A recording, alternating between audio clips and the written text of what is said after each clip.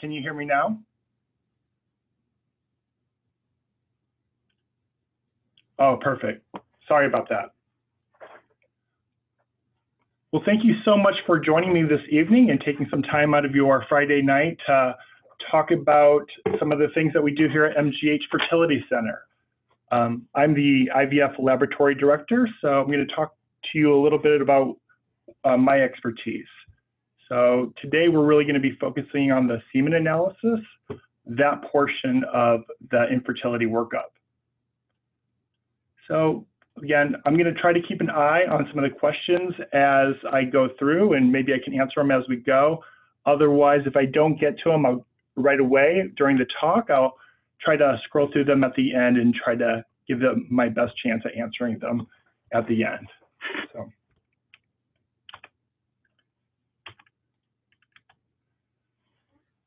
So I think it's really important to always remember that infertility affects men and women equally. So sometimes I think it really feels like it's the burden falls on the woman and it's a female problem, but it really it's not. Um, it's kind of alarming. Um, one in seven, there's estimates of one in seven U.S. couples are infertile, and even one in 10 U.S. men have some sort of infertility. So almost about 50% of infertility is male factor related. Not solely male factor, sometimes it's a combination of both male and female factor, but about half the time it's actually a portion of it is the male factor. So briefly, these are some of the things that we're looking for. And just to point out that semen analysis itself is actually relatively simply simple to complete. Um, and as we know, it's not very invasive. So these are the parameters that we're going to be looking at, and I'm going to go back to this later, so don't try to memorize everything. What I want to really point out to you is that we are using the most current um, WHO reference ranges, and that's still back from 2010. So that was a, modifi a modification almost a, about a decade ago, but still it's holding true. So we're looking at the volume of the semen itself, the pH of the semen, sperm concentration, motility, really how the sperm's actually moving in a progressive manner, if it's viable, and some of the morphology things. And again, I'm going to be talking about that, breaking that down into more detail as I go. So why is it so important to do a diagnosis of male factor? And I think this is really kind of drives it home that any delay in a diagnosis of male factor infertility really can extend the infertility treatment process for the couple and really result in unnecessary interventions for the female partner. So we really want to do some of these easier tests and um, right away, such as testing the males. So that's why they bring the males men in quite early on in the process to see if there's a really clear indication of what's going on with the couple. So here are some basics um, for the semen analysis. Pretty simple. We always are requesting that we have a photo identification.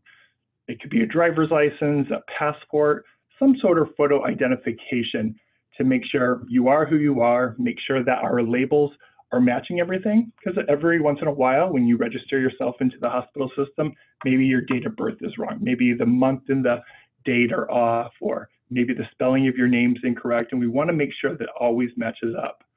We also want to match that up with you in person so that you can feel confident that we are only processing your sample. So we can have a really clean handoff that way. We ask gentlemen to abstain from having ejaculation, um, sex or masturbation two to three days prior to an analysis. And we ask that because um, if you wait too long, if there's too big of a period in between your ejaculations, you can have a lot of dead sperm in your sample, and it can really throw off how we analyze it, um, analyze the results. Also, if it's too frequent, if it's kind of the same day, um, sometimes your numbers will be a little bit lower than what would be natural, what may naturally occur. So we roughly try to shoot for two to three days of abstinence before you provide a sample for an analysis. Um, we ask that you collect in an approved sterile cup or a condom. So this is really important too. So if you're going to do a semen analysis and there's options to do it at home, we will send you a collection cup or you could pick up a collection cup from our center. The reason we are pretty strict about this is that we are extremely rigorous about testing all of our supplies. And we want to make sure that there's no residue or anything on the plastics that you're using that may actually be harmful for the sperm because we don't want you to be collecting in a cup and it's actually the plastics itself that are making your sperm motility look lower than it really is. So we want to we um, kind of make sure everything is done in a proper manner so that we are confident in the results that we get. Um, we also ask that you do not use any lubricants for collection, any kind of lotions or anything, because most products are harmful for sperm. It can throw off our analysis. So no lubricants for this. The other thing we ask, and this is important too, especially when we talk about doing a home collection and bringing in the sample, we really would like it within an hour, maybe a little bit more than an hour is okay as well after the collection. But if you're starting to exceed an hour and a half or more, um, the sample can really start to decline, specifically the motility. So we really like to try to get it within an hour of it being collected that we can have very accurate results. And what we want you to do is maintain it at body temperature. So we don't need it on ice for sure. We also don't need it. Um, we've had people try to bring it in with hand warmers that you use for skiing. Not a good idea either. We want it just at room temperature and it does just fine. And the best way to do that is after the, the collection has been made, just stick the cup in your in your pocket. It could be your coat pocket or whatever, your jeans pocket. That's the best way to maintain it at body temperature. So I'm going to give you a tour of the laboratory because, you know, I think it's always probably pretty awkward. Um, just imagining what the whole process is going to be when you're being asked to go on site to a clinic and produce a specimen on site. Um, I just kind of wanted to give you a really brief tour to show you it's not as bad as it sounds. It's not like the movie Ted. It's not as awkward as it has to be. So what happens is you would check in at the front desk and they will ask for your ID. And keep in mind, you're going to be asked for your ID numerous times. Take that as a great thing that you're constantly being asked and identified. So here you're going to go down a private corridor, and within the private corridor, here's a door. And this door goes specifically to the collection room. And what I want to point out is it's a double door. So there's a double door privacy here, one from the hallway and then another one straight, to the collection room. Here's another level. So it is a keypad collection room access only. So you don't have to worry about anybody opening that door and walking in on you. So that's there too for your own privacy. And if you look right above the lock, we have a sign showing that it's in use, just extra assurance that no one's walking in. Here's the actual collection room itself. Um, it's a private space. What you can't see in the very back is there's even a noise machine the noise machine, I think, is more for your comfort, so that there's some background noise going on, but you're so isolated that there's no noise that really comes through that door. Um, if you look really far back on that back wall, there's this turnstile. That's actually where you would place the specimen after you've done, you're done collecting it, and you spin it around, right? So you would put the specimen in the cup, turn this, this wheel right here, and it goes right back to the laboratory. And that's your whole specimen handoff. Pretty simple. And here, here's the other wall. This is on the other side of the door, and this actually goes into the laboratory. And so it spins around, and then there's a light right above, and we know when it's done, and we can begin to process the specimen. So, and you're free to go. As soon as you're done producing the specimen, you're free to leave. Here's another option, and this is right now what we are giving to a lot of our patients, especially during this um, pandemic, is we are mailing out some kits for people. So this is what the kit contains. The kit contains a specimen cup, a biohazard bag, a brown paper bag for privacy, and also this blue sheet. And this has the instructions for how to go how to go about collecting it. Has our a map for where it would be dropped off, and that's kind of a curbside drop off where our valet parking is. And then the really basic questions for you to ask, um, answer. This is where you're going to write your name, you're going to put your birth date, you're going to say whether or not you were able to collect the entire specimen. Every once in a while, the full specimen doesn't go into the cup, and you just indicate that. The reason being, if the numbers are really far off, it may be because you didn't get all of it into the cup. And then we can put a note on it. So we don't want to say that you have a big fertility issue when actually it might have been just a collection issue. Um, and also we ask for the number of days of abstinence. So this is your information. And when you hand it over to us, we're also writing in that we checked your ID and we sign off for it. So we always have a paper trail and a record and appropriate, appropriate handoff for when we receive your specimen. Within the laboratory, specimens are processed in a, a workstation hood. It's under sterile conditions. And I think it's really important to know that here only one specimen is processed at a time. So you'll never have two patients using the same hood or two things being processed simultaneously. It's a strict policy, one patient at a time. I have a question um, if saliva impacts the sample, and it does. Um, we don't want saliva on the sample when we receive it, um, and it can be it can kill sperm. So any anything like that can be really toxic. And also sometimes we are processing the specimen for let's say an IUI or to be used for IVF purposes. And you can have different bacteria or anything in the mouth or the saliva that could actually contaminate the culture system. So we ask that there is no saliva um, for the final collection.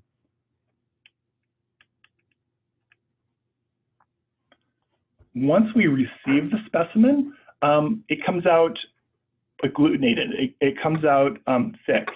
And so what we want to do is we give it some time to liquefy.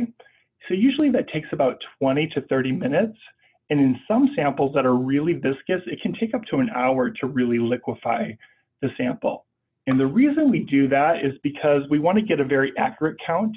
Um, if it's very thick at the time, um, it's very difficult to quantify the sperm counts. So we give it some time to liquefy. During this time, we are making other notes on the semen analysis.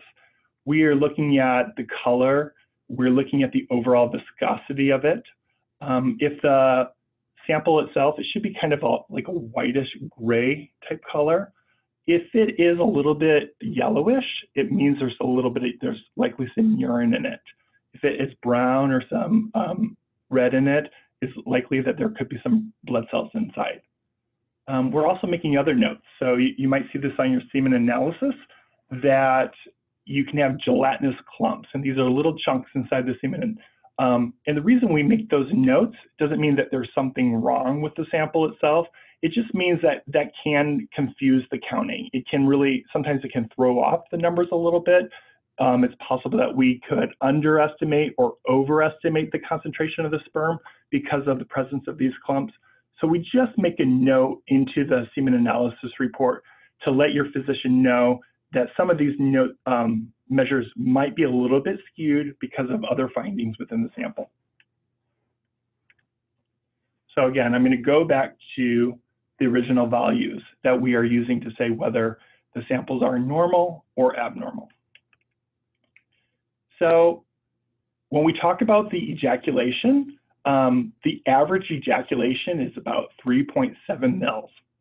Um, however, we consider anything that's greater than 1.5 or one and a half mils um, to be normal.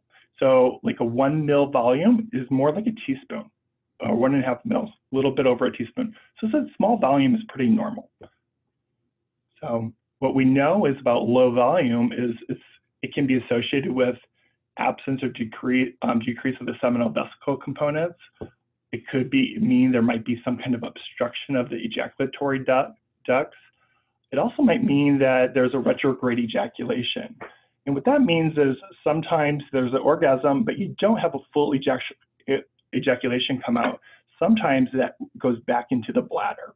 And so if we have really low volume, the doctor might order a retrograde ejaculation analysis and what that means is they would have you do a collection again. They'd come on site, you would do a collection, but after you collect, you would urinate in a cup.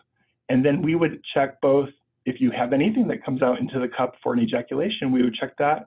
But then we would also spin down the urine to see if any of that ejaculate actually went back inside of your bladder. And then we can quantify that and get an idea of what you're working with in terms of sperm.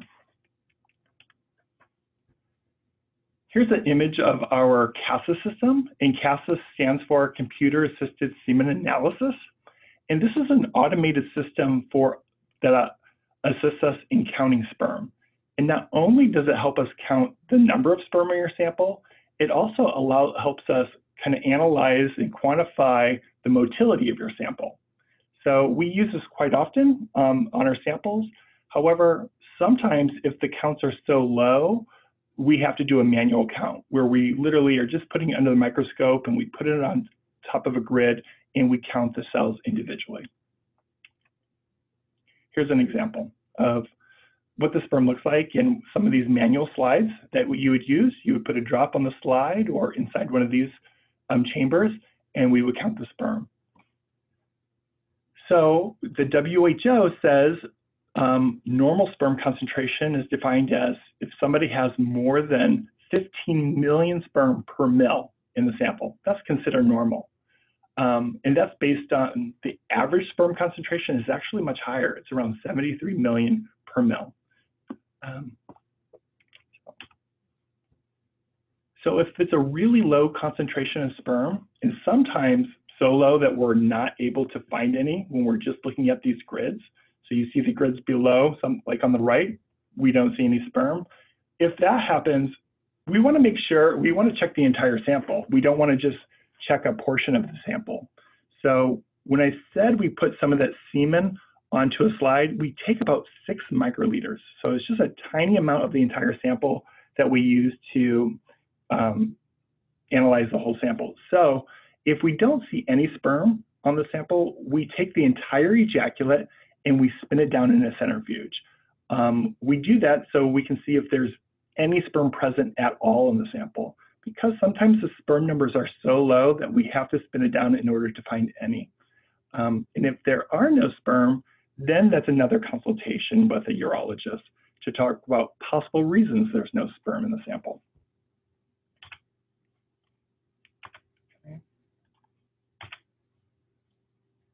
So when we look at sperm motility, a lot of times when we think about semen analysis, we're really talking about the sperm concentration, the number of sperm total, and also the sperm motility. Sperm motility is critical, as you can imagine, um, because you can have all the sperm in the world, but if they're not swimming, it doesn't really matter. So we consider normal sperm if you have 40% or more that are motile. The average man has around 61% motile sperm. Um, and when we talk about motility, we're talking about all forms of motility. This can be, this might mean sperm flying across the, the slide, going forward in a straight prog um, a progressive manner. It also includes the sperm that are swimming in circles, or it, involve, it includes sperm that are just barely twitching. That's sperm motility in general. So what we are looking for is um, just overall sperm motility, because it also speaks to whether the sperm are viable or alive. If we want to break it down further, we want to look at the forward progression score of the sperm. And I find this very important.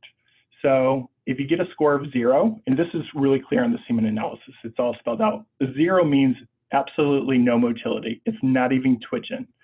Um, a one is it's a little motile, but it's not swimming in a forward progression. Two, it's it's slow. Um, it's going a little bit forward, but it's slow. Three is good sperm. It, it, it looks really great. It's going straight in a forward progression. This is probably the most common sperm motility that we see with gentlemen. And four is when they're just flying off the stage. So that's really how we're breaking it down. Like I said before, sometimes there's zero motility in a sample, and it's obviously very concerning. But just because they're not moving doesn't mean they're not alive. So what we do with the samples, if we have no sperm that are actually motile in the sample, we do a stain. It's a live dead stain, and it tells us whether or not the sperm are alive. So you can see here on the right, this sperm is all is is completely white and no dye penetrated its membrane, so it didn't stain at all. That means its membranes were intact and it's, it's strong and it's viable sperm. It's just not swimming. The one on the bottom is stained, and that's because uh, it was the cell membranes were very permeable the dyes were able to get right in, and it's completely dead. And this is important because we can have an ejaculate where all the sperm are non-motile, but most of them are viable. And those sperm can be used just fine when we do other procedures like IVF and ICSI. So it's really important for us to distinguish whether they're live or dead. However, if all the sperm are non-motile, um, how do we know which one is alive? We can't inject sperm that has, has been stained.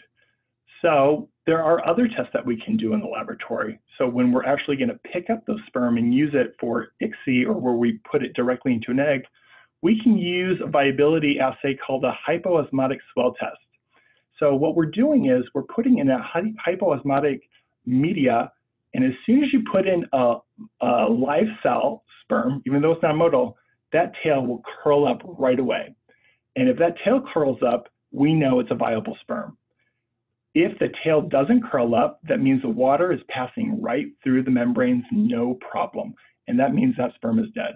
So in this case, and it's rare that we ever have to use this, but in this case, we know this is the best sperm right here, the one with the curved tail, and that's the sperm that we would inject into an egg. Now I'll talk a little bit about sperm morphology.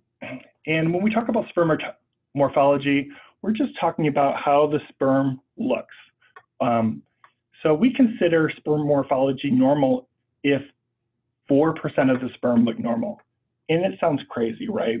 That if 96% of the sperm look abnormal, is still considered a normal specimen because humans really actually have a lot of very abnormal sperm. And it might not be as meaningful as, that, as we may think. Um, we really, if it's 4% or above, the sperm seem to do just fine. And I know it gets a lot of people pretty nervous when they see that number that they only have 4% or 5% normal sperm, but that is perfectly normal. So what we have seen too between ejaculates that morphology parameters really don't change. So one, one morphology measure within a year should be sufficient. It should be enough. Um, and the, really, there's little evidence out there that there's other things that you can do to change your morphology score. So your morphology score is what it is. And here's what we're looking at. We are looking at several, um, a few aspects of the sperm we are looking at 200 sperm for each of your, each of your semen analysis, and we're quantifying it that way. We are looking at the head region. We want to make sure, sure it's the appropriate shape. We want to make sure this acrosome is the appropriate size, this white piece inside the sperm. We're looking at the neck to make sure it's not bent or kinked or um, um, abnormal in size. We're also looking at the tail to make sure that it's the appropriate length and it's not bent and it's not kinked. So we're looking at numerous things to try to say what is a perfect sperm or not. Um, and that's why we call it strict criteria, because it's extremely strict in what we are able to call as normal. So after we do the semen analysis, um, we send a report to your physician. And the report is going to say, it's going to go through all those parameters, the volume, the concentration, the motility, the forward progression, and the morphology. It's going to go through all of those um, items.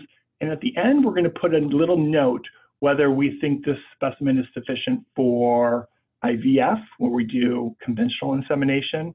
And basically, that says everything is pretty normal. Or we would say something in the semen analysis has been flagged as abnormal, maybe not grossly abnormal, but in that case, we may recommend ICSI or other process for utilizing the sperm. So when we utilize sperm for clinical purposes, like for intrauterine insemination, the IUI, or if you progress onto IVF or ICSI, this is how we would process the sperm. We take the semen itself, and you can see on the bottom left-hand side, we have this bottom clear piece inside this tube, that bottom clear media, that's actually a, a sperm separation media right there. And what we do is we layer the semen, that semen right here in this kind of yellowish color, that's layered on top of it. And all the sperm is inside of that. And so what we do is we spin it in a, center, in a centrifuge. And it's spinning for about 20 minutes. And as you can see in this picture, this first picture right here, you can see that kind of line separation between the clear media and the semen itself. That's that meniscus. And only the, the highly motile sperm can swim and break through that meniscus, that layer right there, and swim to the bottom of this tube during the centrifugation. So after the centrifugation, you can see this layer gradient. See all this white at the very bottom of this tube? That, that's all highly motile sperm. So that's what we're doing. We're separating all the highly motile sperm out of this semen. We're separating it from all the non-motile sperm, some of the really slow twitching sperm, some of the round cells that we'll find in, in an ejaculate, or some of the debris that we sometimes find in ejaculate. What we're doing is we're spinning it down and making it clear um, and only getting the, the motile sperm. So really what it's doing is kind of doing what happens during intercourse where there's an ejaculation and the sperm, only the highly motile sperm are able to penetrate and swim through the cervical canal. Those are the ones that make it out. So we're kind of doing that in reverse in the laboratory. We're trying to get all that highly motile sperm to process its way through and then um, isolate itself at the very bottom of this tube. Then what we do is we wash it a couple more times into clear media to really make sure we get a very clean pelleted sample at the very end. So you can see we were able to get all of this white gunk out and we're left with this clean white pellet of highly motile sperm.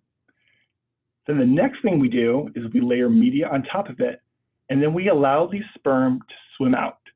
So then the, swim, the sperm begin to swim out of this little pellet up higher and higher into this tube and those are the sperm that we end up using for processes like IVF or ICSI. Those are the ones that went through all the rigor of making it out of the semen, um, being processed a few times in the laboratory centrifuge, and then swimming out. Um, that allows us to identify the forward progressing motile healthy sperm from the sample. So some other things I just want to point out to you. Um, you guys, you don't get to see this part um, after you hand off the specimen, but I want you to know that there is there's a very rigorous identification process that goes on behind the scenes. It starts with you. It starts with your identification and you checking your cup. You are in charge of your cup. You're looking at it. You're confirming, yes, that is my name. That's my birthday. Those are both my identifiers. And then also on the cup is your partner's name, um, label, and identification both of those stickers are on it and you're confirming and you're signing off on it, say, yes, this is in fact um, the sample and this is how I want it to be utilized. As soon as it gets into the laboratory, we do another sign off. We have two embryologists verifying the cup um, and every tube. And all of those tubes have the same um, two labels on. And we identify every one of them before we process it.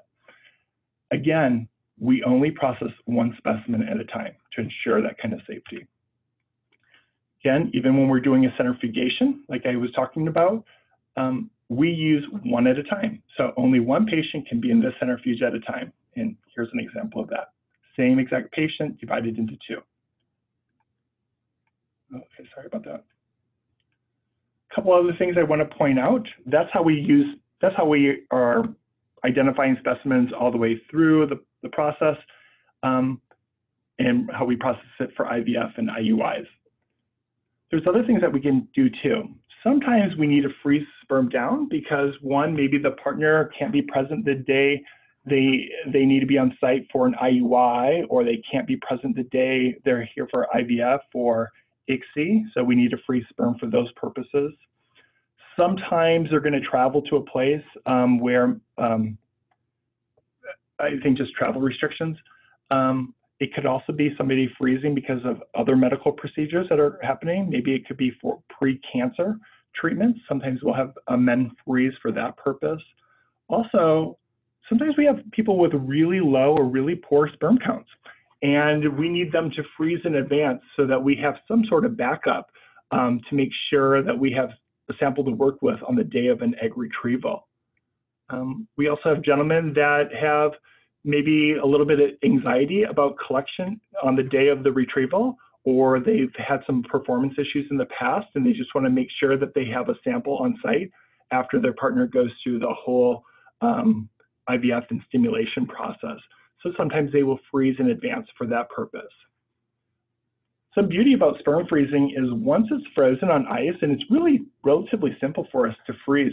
Once it's frozen, um, it's frozen indefinitely. So it today it's as good as it's going to be 100 years from now. So it does quite well. Um, and we really don't need to freeze a lot um, in order to have sufficient amounts for the future. So um, it does quite well. And really the process of freezing sperm hasn't changed that much since the 1950s. And, you know, there's specimens that were frozen way back there then, 70 years ago. And there's a laboratory that still thaws a vial every day on the anniversary of the first sperm freeze and celebrates because the motility never changes. And so they've been doing that for about 70 years now. It's pretty cool stuff. So here you go. So one ejaculate really can be divided up into numerous vials. Um, we typically, and it depends on the volume, but typically we do around six or so. If it's for cancer purposes and we need to be even more conservative, we might divide it up even further, or we might ask them to do repeat collections so we have adequate um, samples going forward. And then after we freeze it, we store it in our liquid nitrogen tanks and we have all the appropriate testing to make sure your sample is safe and all the other samples in the tanks are completely safe. And if there was any kind of infectious disease testing that um, wouldn't make it qualify for one of our tanks, we have agreements with other long-term storage facilities where the um, sample can be stored and frozen for long-term off-site. Um, and just to let you know, all of our tanks where specimens are frozen are monitored 24-7 to make sure if there's any fluctuation in these temperatures that we are notified immediately. So there's a lot of rigor involved um, in maintaining these tanks. Um, I have a question, a great question. Do you analyze the sperm before freezing? Absolutely. We perform a full semen analysis before we do the before we actually freeze the sample. So we do that for a few reasons. Sometimes one, it informs us of how the sperm is when it was frozen so that we can um, predict how it's going to thaw so we know how to utilize it. So let's say it was a really poor sample and we had a hard time finding any sperm we may make a note on it saying, hey, we may need to thaw more than one vial on the day of the IUI or on the day of the IVF case. So we want to have that information ahead of time. Um, and so and, and so we can inform the patient as well that, hey, the sample was not adequate. We're going to need you to freeze maybe a couple more times so we can feel comfortable in the amount of sperm that you have frozen. Or we can say, hey, that one sample was fine you should be good, you know, for several rounds of IVF. So we want to have that information in front of us. Um, so we had a question about how often do you thaw and you refreeze, and is it used for only one cycle? So I think that's a really good question. Um, so what we try to do is freeze enough vials that we are we're thawing one vial per cycle. That would be ideal.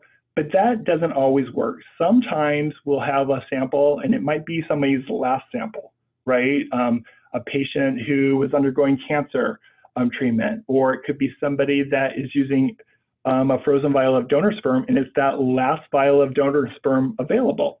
And so we can do a process that's called shaving it. So we can only thaw a portion of that sample at a time and keep it refrozen um, and we've, we've used a single vial of specimen um, several times over in those cases. So yeah, it is definitely possible to do that. Um, and when the question is, do we thaw and refreeze? In those cases where we are scraping it off, we're not actually fully thawing the specimen. We are just taking it slightly out of liquid nitrogen. It's still completely frozen and it's almost like one of those ice slushies. You're scraping off the top. So it's really like scraping it off like these ice crystals, and that's the portion we're thawing. So we're we're trying not to like do any damage because every time you freeze and thaw, you can you can create some kind of cryo damage. So we want to minimize that chance. So we want to do we want to keep it frozen um, pretty much at all times. So great question. Oh, sorry. That was yeah, let me check. Yeah, that's what I have for slides. I'm happy to answer questions at this time.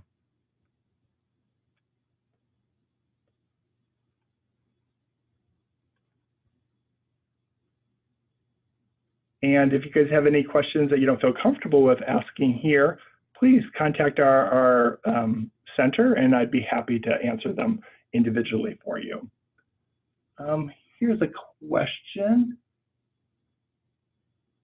Do things affect viability of sperm, i.e. caffeine or hot tubs? Yeah, so one, I think we all know, but really listen to this, don't smoke, don't vape, don't do any of that kind of drugs and things like that. That's really terrible for sperm. There are certain supplements you want to um, have approval from your doctor before you use certain subs, um, supplements.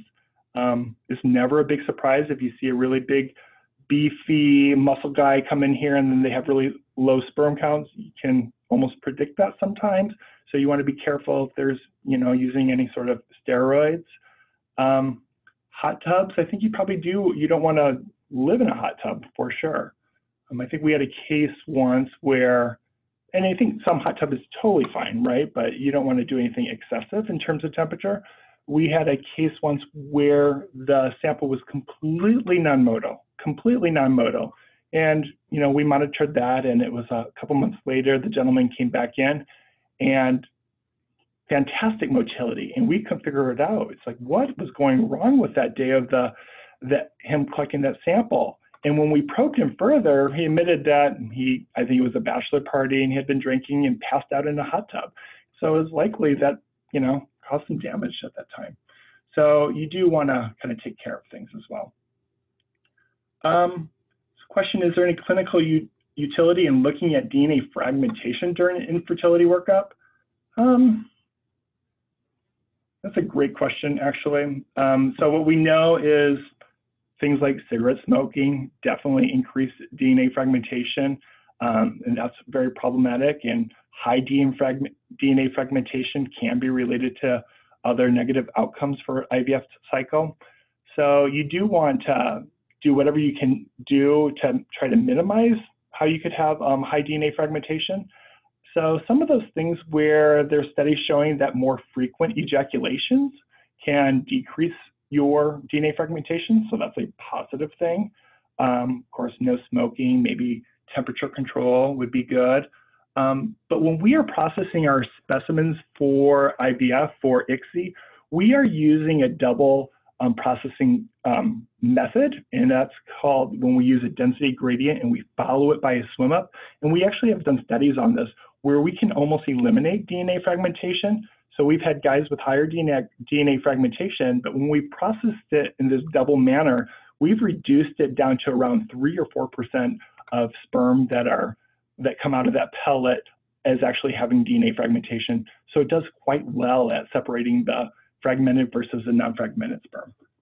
So um, how does low morphology and motility impact IVF with ICSI success rates? Uh, that's a great question. Um, so when you have a low morphology, so we haven't seen any real decrease when we're using it with ICSI. So, and even in the literature, it shows that there's only a couple um, morphology um, phenotypes that are really associated with abnormal like cleavage divisions or other problems with IVF. And that's where they have these big, large, round, bulbous head, headed sperm. And that's quite rare for us to see. Um, pretty much most of the other sperm morphology abnormalities can be overcome um, using an ICSI procedure. Um, can you tell me a little bit more about drinking affects uh, male fertility? Um, I, I, would say this, I'm not an expert in this area. So that is something you're going to want to talk to your um, IVF doctor or urologist about. Um, I think anything in excess is probably not good, but I don't want to limit anybody's drinking during this pandemic. So, is there somewhere to look up what is considered a normal sample for post vasectomy reversal? Oh, that's a really good question. Um, and actually, I wish I had the reference here. I was just looking at something showing, you know, what you can expect per month over a course of 18 months. I just, I don't have it in front of me um, for how long it takes to get back to a more of a normal sample. So that is something I'd have to get back to you on. Anybody have, any more questions? Um, yeah, I know this is running a little bit over. Um, I really appreciate all the questions. I think they're really fantastic. I wish I had a quick answer for the normal sperm post-vasectomy reversal, but I don't at this time. Um, but if, again, if you have any more questions, definitely feel free to reach out to us here at um, MGH Fertility Practice, and I'd be happy to answer any of your questions um, over the phone or in person. So one more question, I'm going to take one more. If semen analysis looks normal, is it safe to say that is likely female issue? No, um, I wouldn't say that. There's other things that we can't see. Um, we can't always see everything that's going on with the sperm. So there's sperm that looks perfectly normal, and there could be some kind of genetic um, issue going on as well. So we can never completely rule out male factor just based on a semen analysis. All right. Well, thank you so much. I really appreciated um, all the questions and you guys really taking some time on your Friday evening to um, learn a little bit more about the male factor in fertility. So thank you so much, and I wish you guys the very best with your fertility journeys.